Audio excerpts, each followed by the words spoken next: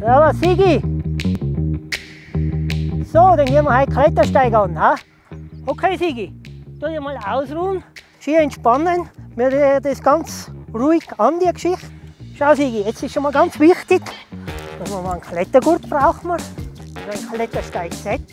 Da kannst du gleich einmal probieren mit der Karabine. Ganz wichtig ist natürlich den Helm.